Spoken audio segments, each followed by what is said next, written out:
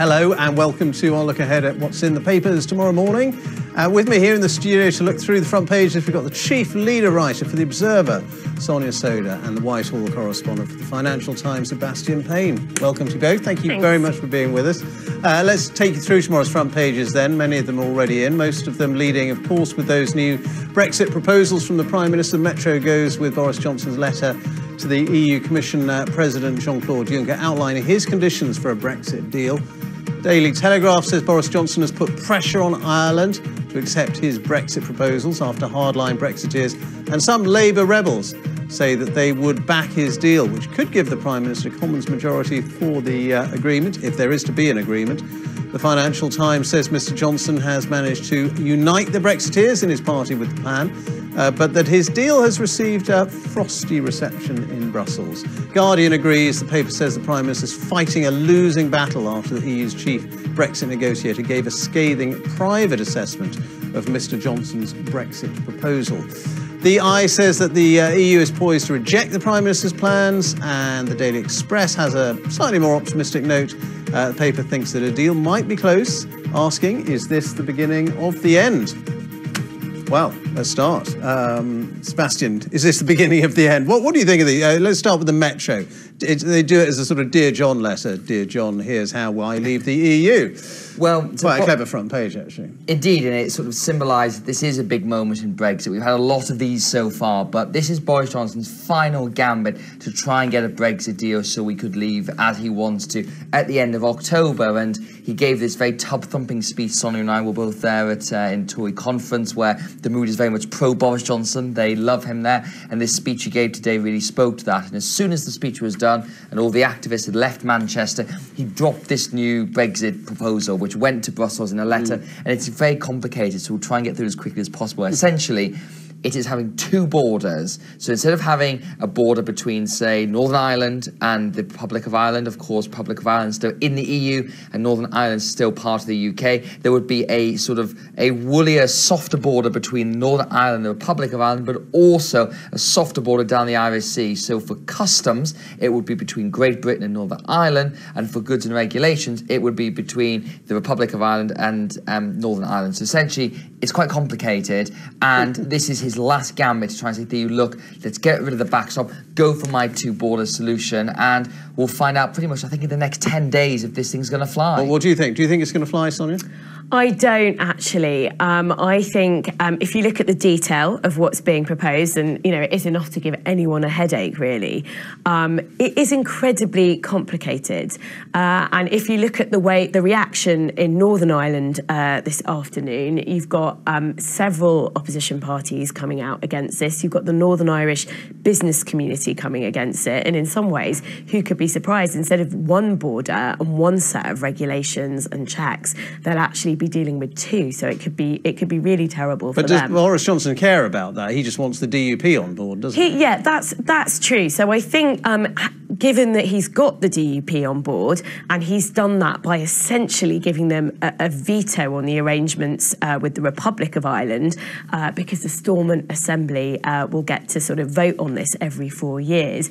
Given that he's got them now on board, I think the feeling is in Westminster that lots of the ERG, so the hardline Brexit faction of the Tory party, will fall in behind uh, the DUP. And if you sort of count in a very small number of Labour MPs as well, that might be enough to get the deal across the table. But that is the Westminster angle. There's also a question of will the EU Yeah. sign up to this? That's the big if. exactly. And it's while it's true to say, I think that the EU is likely to look more favourably on any proposals that are more likely to get through Parliament.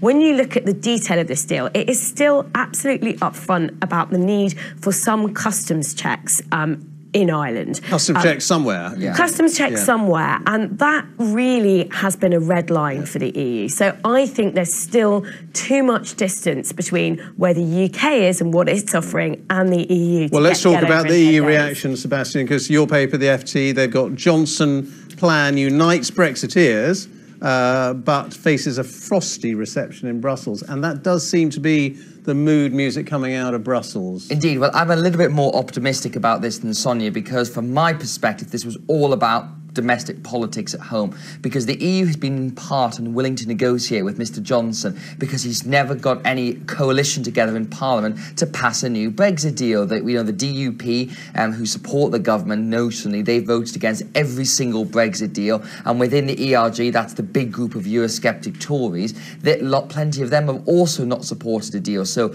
by getting this proposal and keeping both those sides on board, plus we've also heard from a number of Labour MPs tonight who said they would also back a deal on these terms. What Mr Johnson is saying to the EU in part is, look, if you if you work with me on this, I can get this through. But as you were just yeah. saying, Ben, when you look at the reaction from the EU side of this, it's frosty, as you know, is kind of how we've described it. Other papers have called mm. it hanging by a thread because the fact is, Sonia's right, there is still a lot of gap between where the EU's red lines are on customs checks and not having any extra border infrastructure and what Mr Johnson is proposing. And, and, and, Dublin's reaction has been pretty lukewarm as well, and that's kind of key, isn't it? Yeah, it is. It is very much key in terms of um, what the EU said all along is that Ireland has to be happy with this. We're acting as a mm. bloc if we're going to accept the agreement, so or, or, or to, to, strike a deal. So I think that is um, very that, that that is a kind of um, a bad sign for Boris Johnson's chances of getting this through.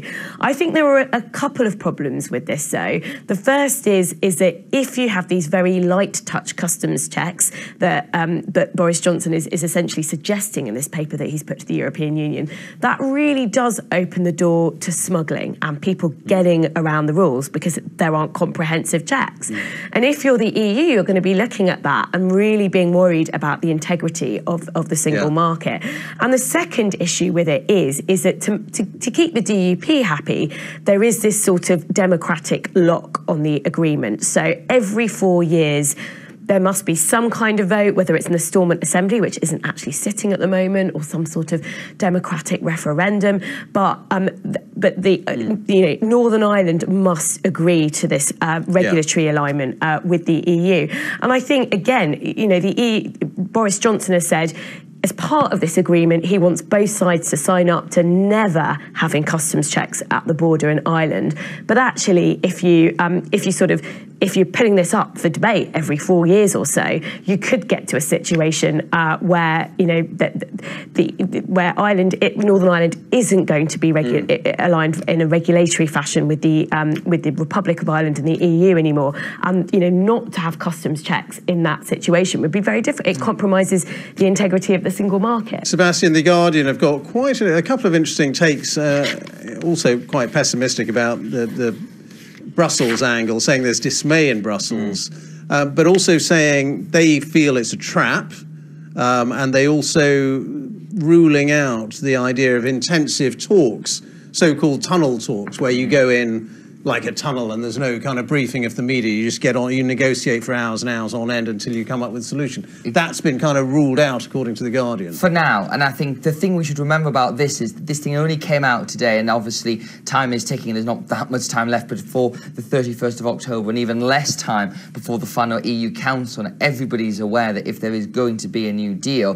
people are going to have to move very quickly. And I think mm what number 10 was looking for tonight was to get this thing received and not dismissed out of hand. So, although all the mood music, as The Guardian have painted, is quite negative, the fact they're saying, look, we can talk about this. And if you looked at what Jean Claude Juncker said in response to that letter, he was saying there were positive elements to it, but it was still too far away. Mm. The question now is this is an opening bid. This is not the final offer, as some people have suggested, because I think the UK is going to move more on this. It is going to move more towards the EU position. The challenge. Well, the government have said it's the final offer, haven't they? No, but they've, they've, there's been a lot of confusion about this. Some people have said that, but if you heard the Prime Minister this morning, mm. and if you saw the Prime Minister in the hall, he did not say this is the final offer. I think it's very key to realise there's 10 days, really, okay. where this thing could move, and I do think we will see some movement, yeah. and if the government moves a bit more, we go into the tunnel, and then you've got a chance of All getting right. this thing through. Let's go to the Telegraph's front mm. page, Sonia, because they're a bit more optimistic, as, as you might expect, as a sort of Johnson supporting paper,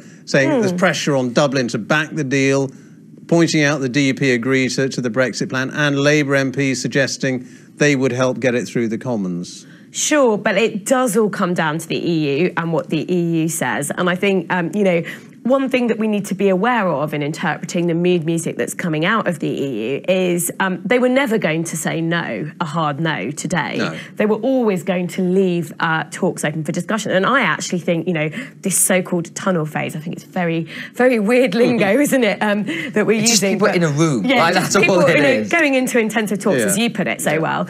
Um, but I think we will reach that as well because there's also um, an issue of perceptions here, and neither side wants to be seen as a side that is responsible uh, for taking us towards a no deal Brexit. So there was no way that the EU wasn't going to uh, extend some words indicating that it's prepared to talk on the basis of what Boris Johnson set out today. So I think we should be wary about reading too much. Do you think they that. really want a deal, or would they quite like to see it going to another extension at the end of the month?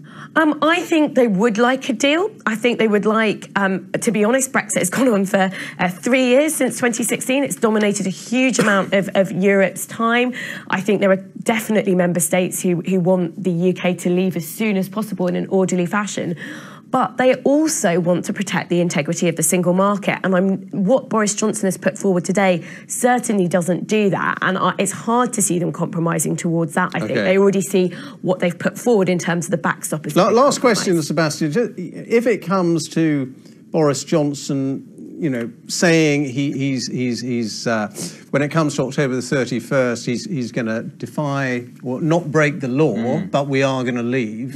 What's your prediction about how he's going to do that? Because has Downing Street got a secret, cunning plan? Do you think? I think if they did, they're unlikely to tell me or Sonia or anyone else. well, They'll keep it in their back pocket. But look, But some people think, well, maybe they haven't got a cunning plan at all. They're just sort of making out as if they have one. Yeah, my best guess would be the fact is that if this goes nowhere and there's no new deal from that EU Council on the 19th of October, and that's the day when the legislation kicks in and Mr. Johnson is forced to write a letter, he will do some kind of bravado show. Maybe it's two letters, maybe he goes against it to try and get round it. But then at that point, it ends up back in the court. We are almost certainly going to be back in the Supreme Court. And if they force Mr. Johnson to extend and then we have an election, he's got the perfect narrative. And I think if you look at the slogan of this year's conference, get Brexit done, that's his election right. slogan. I will get it done if you give me a majority or something Okay, like uh. I promise at 11.30 we'll talk about other things other than Brexit.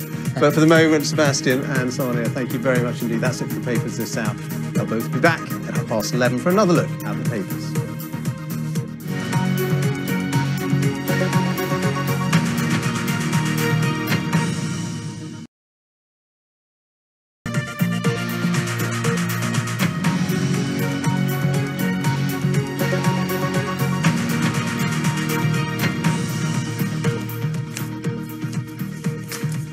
So, welcome to a look ahead at what's in the papers tomorrow morning and reviewing them today in the studio. We've got the chief leader writer for The Observer, Sonia Sodha, and Sebastian Payne, the Whitehall correspondent for the Financial Times. Welcome to you both. Thank you very much for being with us once again. Uh, let's run you through the front pages then. Most of them leading with those new Brexit proposals from Boris Johnson. The Metro goes with the Prime Minister's letter to the EU Commission President Jean Claude Juncker, uh, outlining his conditions for a Brexit deal. The Daily Telegraph says Boris Johnson has put pressure on Ireland to accept his Brexit proposals after hardline Brexiteers and some Labour rebels say that they would back his deal, which could then give the Prime Minister Commons majority uh, for the deal if he can get EU support for it. Financial Times says Mr Johnson's managed to unite the Brexiteers in his party with this plan, but uh, also says that his deal's received a frosty reception in Brussels. Uh, the Guardian agrees with that assessment. The paper says the Prime Minister's really fighting a losing battle after the EU's chief Brexit negotiator gave a scathing private assessment of those Brexit proposals from Mr Johnson. And the Eye says that the EU is poised to reject the Prime Minister's plans. Uh, the Daily Express, though, a bit more optimistic, uh, saying that a deal might be close, and it asks, is this the beginning of the end? So, Sonia, is this the beginning of the end? Big question. I don't think so. I think whatever happens in the next two to three weeks, we are going to be talking about Brexit for the next five to 10 years in this Yeah. country, unfortunately. So it's certainly not the beginning of the end. Um, I guess the question uh, that the Express is really asking, though, is is this deal going to wash with both the EU and with MPs in Parliament? And it's you know very important to keep both sides of, of that equation in mind because a deal isn't going to get through if MPs in Parliament don't back it, but neither is it going to get through unless the EU agrees to what's been set out. And what Boris Johnson has set out in his paper to the EU today is um, what he thinks of as a compromise. The, the Metro, they're calling it a Dear John letter, which is quite a clever front page, I have to say. It is a clever front page, indeed, um, and it, it, sort of takes it away from the detail, which is quite head scratching in, in, some ways. It's quite a complicated solution that's being proposed here. Um, the idea is that Northern Ireland would leave the customs union with the European Union and would be in a customs union with the UK, um, but it would be part of the single market essentially. Uh, so you'd have regulatory alignment across single market for goods. So yes, single market common for goods. standards exactly. for goods. Common standards, common regulations for goods. And what that means is that you would need two sets of checks. You'd need customs checks on the island of Ireland between the Republic of Ireland and Northern Ireland, and you'd need regulatory checks between Northern Ireland and the rest of the UK. Um, will the you know? A, big thing that's emerged tonight is that the DUP, Boris Johnson has managed to get the DUP behind this agreement. And I do think that there's a chance that with the DUP swinging behind it, that will bring um, some members of the ERG, the hardline Brexiters, and the Tory party. And perhaps Boris Johnson could get the numbers for the deal through. But I think a big question is will the EU accept it? And one thing that's very clear is that this arrangement would still involve customs checks on the island of Ireland, which the EU has said red, is, are a red line um, because of the Good Friday Agreement. And if you don't have customs checks, then that sees the integrity of the single market we'll, compromise. We'll come to the EU's response in a moment, but how, how, do you think this differs from Theresa May's deal that was obviously rejected mm. three times by the Commons? Well, the deal that Theresa May was putting forward was essentially trying to keep the UK closely aligned economically and with trading relations to the EU, even though we were leaving. And, you know, the backstop which she had in her deal, which was the way to stop a hard border on the island of Ireland, was keeping the whole UK in a customs union, potentially in perpetuity, and that was seen as some Brexiters keeping UK in the orbit of the bloc after we've left. But the key change here is Boris Johnson absolutely says the whole of the UK, including Northern Ireland,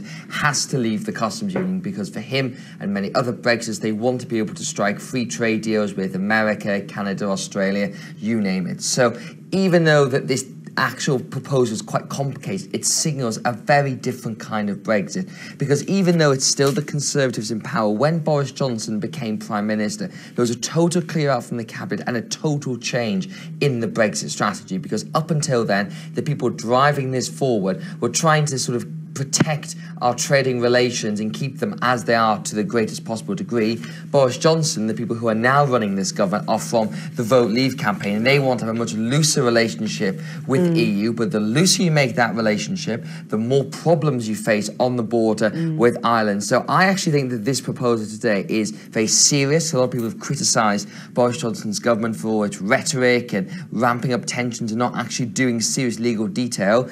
This is serious legal detail. The legal text has been laid with Brussels about how this thing would work in law. The problem Sonia were laying out is that it does potentially breach one of the key red lines from the EU, which is no new customs checks on the island of Ireland. And Mr. Johnson is basically saying to the EU, look, if you want to do a deal, you're going to have to blur that red line, and whether they do or not is going to decide whether this Let, thing let's flies. Let's look at the Express again. Well, we sort of mentioned it. Um, is this the beginning of the end? But they're also saying barnstorming speech at the Tory conference. After that, the Prime Minister reveals his final master plan. So not much um, secret about how the Express see all of this. Now, you've been at the Tory party conference. Um, let's just sort of talk about his speech today. What did you make of that? So was I wasn't in the hall for it. I was watching it. I'd come back to London uh, yesterday, so I was watching it on, on TV, which is actually, you know... It's a very sensible a, idea. A sensible idea. And if you're a member of the public, all you're going to see are the little snatches, really, yeah. on the news at 6 and the news at 10. You know, people don't really sit down and watch a Prime Minister's speech at 11.30 in the yeah. morning. You could watch so, it all all on the BBC News of channel. Course, of course, of course. Well, that's that's how I watched it. But um, but I mean, I think in Boris Johnson's own terms, the speech was a success in the sense that it went down well in the hall. Uh, the Conservative activists clearly liked it you know, he's had a fairly good week at his Conservative conference, I would say. But in terms he is the of, darling of the Tory party yeah, but in terms, you know, the, the Conservative Party and voters as a whole are incredibly different. And in terms of a pitch to voters, there was a lot of rhetoric in there. Uh, it was clearly a sort of general election pitch. He wanted to talk a lot about domestic policy. In fact, the details of his Brexit policy were pretty vague in that speech.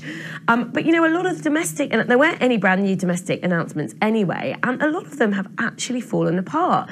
So this pledge that there's, you know, the government's going to fund 40 new hospitals actually pretty quickly disintegrated, and it turned out that it was going to be sort of maximum six new hospitals. Well, they the say the cash- seed, seed money for the others. Seed money. That sounds like a euphemism, doesn't it? Um, so, uh, so, so you know, I thought it was a pretty, you know, watching it as an outsider to the Conservative Party on TV. To me, it felt like a pretty empty speech. It felt like there were lots of, you know, fairly mediocre jokes in it. There wasn't a lot of policy. It was Boris Johnson saying, you know, even after the last week, I'm going to bring the country together. But if you look at some of the rhetoric he's been using, Surrender Act, um, the way he approached that debate in Parliament uh, last Wednesday, you've got anonymous cabinet sources briefing to the papers that there's going to be riots or even killings and lynchings if if, if there Yeah, but- were yeah, a but- second but- referendum. That is not. I'm sorry. That is not a government that wants to bring the country together. It's an incredibly divisive Sebastian. and polarised. Yeah, but nor, nor does the Labour government. You know, John McDonnell has talked about lynching ministers as Uh, well. and- well, that was back in 2014. And That doesn't- that doesn't excuse- No, no, no. no, no. I I mean, I would condemn that sort of language Yeah. wherever it sits. But the fact is, the last couple of weeks, that's been coming out of the government, not the Labour Well, Party. let, us ste- let's steer ourselves back to Brexit because that's the big issue of the day with these new proposals. And Sebastian, the Guardian have got the, the EU reaction, and they're quite downbeat about what that Brussels reaction is. They're saying there's dismay in Brussels. Um, they're also saying that the EU think it's a trap, and they're saying that there won't be sort of intensive talks on these proposals, the so-called tunnel talks, where they kind of go into a darkened room, but don't go and talk to the media. They don't brief about what's going on. They just stay in that room until they've got some sort of deal. So yes, and I think this does reflect the fact that these proposals, from my view, are much more about a domestic audience. And as Sonia was saying, the ERG and the DUP are both crucial allies for Mr Johnson, and he got them on board with this deal. And for the DUP, that's actually a big thing because the DUP have always said no new checks down the Irish Sea. GB, Great Britain, and Northern Ireland have to stay in lockstep. This deal doesn't do that. It essentially is adding more checks across the Irish Sea. But going back to the Brussels point of view on this, it, it's that crucial red line of no new customs checks on the island of Ireland that is being breached here. And the EU said the backstop is not going, the withdrawal agreement is not being amended. They have mm. changed their stance on that a little bit, but the, there is a big gap still there. And I think that mm. if there is going to be a deal, Britain is going to have to move again potentially further towards the EU position. But I think from Downing Street's point of view, they wanted to get this thing out there and they wanted to at least have more talks about it. Now, as you were saying, Ben, we're not in the tunnel, which is when you do a deal in Brussels, you lock yourselves away, take in a couple of shirt changes and a mug of coffee, and just stay there for as many days and nights just to get this thing done. Now, whether we get to the tunnel, we'll find out next week because if there's going to be a deal at that EU summit, they will have to have that process of taking the two legal texts, agreeing the new deal, and then taking it to the 27 member states to get that signed off. But I think for Mr. Johnson, he can be quite pleased they just didn't say no because he has suggested things in the past where they've just said not interested, not discussing. But they weren't likely to just say no straight yeah, away. I mean. I, I think we have to be cautious uh, about reading too much into the fact that the EU said, yes, absolutely, there's something to discuss here, although there are problems. I think they were always going to say that because this exchange between uh, the UK government and the EU is not just about the realities of the talks, it's also about perceptions. And both sides, neither side wants to be blamed for a no deal mm. outcome. So both sides are at least trying to make it look like they're doing mm. as much as possible to get a deal. So I think a lot of hearts will have sunk in the EU actually when they saw these proposals, because the reason that they have this red line around no customs checks on the Irish border is because of the Good Friday Agreement. And a lot of experts think that it, it would not be respectful of the Good Friday Agreement and the situation which is, led, it's quite a fragile mm. equilibrium that has led to peace. And there will be Northern Ireland. checks, uh, not necessarily at the border Yeah. under, under these proposals, but we're not quite sure where these checks We're not quite sure where they will be. be. and any checks will, by you know definition involve some border infrastructure. So um, I think the EU will look at that and see that as very problematic from the perspective of the Good Friday Agreement. There's also quite a bit of uncertainty in these proposals. So Boris Johnson has said in these proposals, both sides need to uh, commit to never implementing customs checks on the Irish border ever. But at the same time, there is what's called a Stormont lock. So um, the Stormont Assembly, or by some other means, if the Assembly isn't sitting, which it isn't at the moment, um, there will have to be a, a, process by which Northern Ireland agrees to stay re- aligned in a regulatory fashion with the rest of the EU. So that means that every four years, we're going yeah. to be returning mm. to this mm. debate and it's going to be up for grabs. It's very difficult to see how the EU can sign up to no customs checks forever if you're revisiting this agreement mm, every, four, every years. four years. exactly. Because actually, if the if Northern Ireland starts to diverge in a significant way from the EU's regulations, um, and it isn't allowed to impose any customs checks, that just kind of compromises yeah. the whole integrity of the single market. Let's just look at the Independence front page. They have Johnson's solution for an open border, two borders. Um, just sort of explain that, will you, Sebastian? So obviously, at the moment, um, both it's worth noting Ireland and the UK joined the EU or the European communities as it was back then at the same time, and EU membership has done a lot to solve the issues as part of the peace process because the fact you've got the same regulatory regimes, trading regimes, tariff regimes, VAT, you know, every single thing. There, you know, when you go you from don't need a border. Exactly. Yeah. Now Brexit obviously creates a problem there because part of the point of leaving the EU, according to Brexit, is to have the ability mm. to diverge, do things differently, and have extra change there. So the first border you would automatically think would be between Republic of Ireland, and Northern Ireland, and due to the long tensions there, nobody wants to have that hard border. And if you listen to the police service of Northern Ireland, mm. they say that if you put border posts up, then they will become a hotspot for potential violence and for paramilitary activities. So what Mr. Johnson is proposing is to, instead of having one hard border there, is to have two softer borders. So there would be a border um, going between Northern Ireland and the Republic of Ireland for tariffs, for customs, and for goods. So if you're selling, um, you know, I don't know, boxes or a, a, manufactured good or something, it will have to have a lot of electronic advance paperwork done in advance before it goes over there. The second border is down at the Irish Sea, which is that when things go between GB and NI, they're also going to have to undergo extra checks there. So to ordinary people day to day, it might not look that different. To businesses, it is hugely mm-hmm. complicated, yeah. a lot of extra paperwork to do. But the fact is, this is the kind of thing you're going to need to do if you want the kind of Brexit Mr. Johnson wants, given the unique circumstances right. of the province. Uh, let's go to the Telegraph, which is sort of. Uh, well, Mr. Johnson writes for it, of course, occasionally, and um, it supports him. And its angle is that the pressure now is on Dublin to back this deal. They're saying the DUP have agreed, some Labour MPs suggesting they'll help it get through the Commons, but it would still need the seal of approval from the Irish Taoiseach, Leo Varadkar. And it's a question, what, what do you think? I mean, the Irish I mean, reaction, like the EU reaction, has been a little bit frosty. Uh, yeah, actually, I think the Irish reaction has been frostier than the um, reaction of the EU as a whole, it's fair to say. And actually, it was interesting if you look at some of the other political parties in Northern Ireland, like Sinn Féin or the SDLP, the Northern Irish business community too, they've all been incredibly negative about it. And I think it's right to say um, that if Ireland isn't happy, the chances are actually yeah. this work, this deal won't be um, agreed. And I think one thing that the EU has done quite successfully as part of this process is to act as a bloc. So there haven't been many people kind of peeling away and disagreeing with the main EU line. And after all, Britain is negotiating with the EU, not with 27 individual member mm. states at the moment, mm. although that will change once we leave. So, um, you know, we heard from Katya Adler earlier in your programme. Um, the EU at the moment is sort of staying firm and saying yeah. there needs to be mm. unanimity um, uh, around this. So I think Ireland will be um, very, very significant. Okay.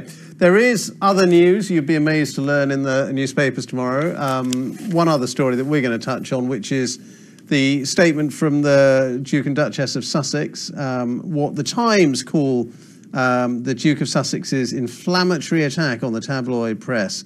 And really, their, their, their angle is that senior royal aides warn the prince about this attack.